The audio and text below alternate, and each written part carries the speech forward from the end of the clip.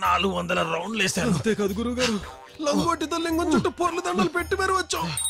బాపురే గారు ఏమైందండి? అంత ఎత్తున్న గుమ్మం ఇంత పొట్టిగా ఉన్న నాకెలా తగిలిందబ్బా? మృత్యు ఘడియలు మృత్యువు నీ కోసం ఆమరణ నిరాహార దీక్ష చేస్తుంది. మంత్రులు ఆమరణ నిరాహార దీక్ష చేయటం చూసాం గాని మృత్యువు ఆమరణ నిరాహార దీక్ష చేయటం ఏంటయ్యా? వినాశకాలే విపరీత బుద్ధి. నీకు బెడ్ టైం స్టార్ట్ అయింది. యమస్థానం ఒకటో స్థానం నుంచి ఎనిమిదో స్థానానికి వెళ్ళబోతుంది. స్థానానికి వెళ్ళిందా స్నానానికి వెళ్ళిందా పని పాట లేని ప్రతివాడు సలహాలు ఇచ్చేవాడే.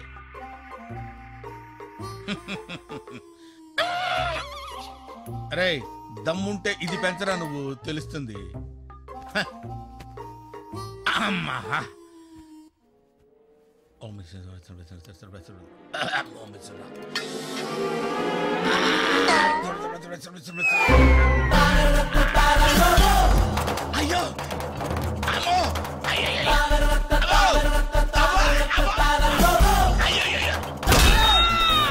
ఏందయ్యా బాపురే? ఏందది? లే. పోయో కాలం వచ్చిందా ఏంది? రెండు వందల కేజీలు. మిస్ అయితే చచ్చిపోయి ఉండేవాడివి. అమ్మో. పొద్దునేమో అది తగిలింది ఇప్పుడేమో ఇది.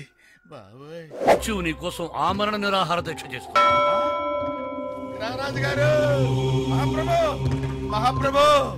నన్ను క్షమించండి తండ్రి నన్ను క్షమించండి. ఏమైంది బాపురి? తమరి నోటి వాక్కు ఫలితం. మృత్యువుకు బాగా ఆకలేసినట్టుంది.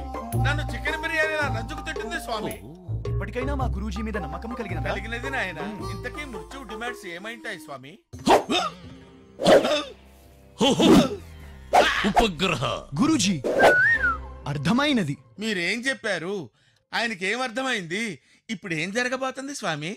కళ్ళు మూసుకో. మూసుకున్నా?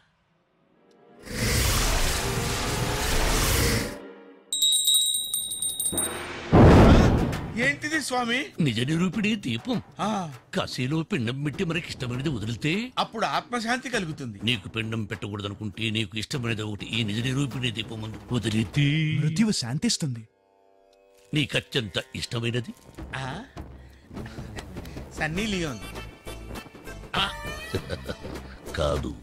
ఆ, తెలుగు. పది మందికి చెప్పలేనిది రా మూర్ఖుడు. అందించినంత వరకు చాలు స్వామి. అందుకున్నా. పితూరీలు చెప్పడం నీ శవం దగ్గర నీ ఆత్మ కూర్చుని ఏడవకూడదంటే ఈ రోజు నుంచి నువ్వు ఎవరి మీద చాడీలు చెప్పకూడదు. చచ్చేదాకానా? కాదు. పద్నాలుగు రోజుల పద్నాలుగు గంటల పద్నాలుగు నిమిషాల పద్నాలుగు సెకండ్లు చాడీలు చెప్పరా. స్వామి చాడీలు చెప్పకపోతే నా పొట్ట బెలూన్లో ఉబ్బుతుంది స్వామి. ఆ గ్యాస్ నివారణ మార్గం చెప్పండి స్వామి. దానికి ఎస్ జ్ఞాన దయా సింధు గొడ దూకితే అది ఏంటి. స్వామి అది? గ్యాస్ ఎక్కువైతే వెళ్ళి స్టవ్ మీద కూర్చో. గ్యాస్. నాకు బల్లంటే భయం పిసికేస్తున్నాడు.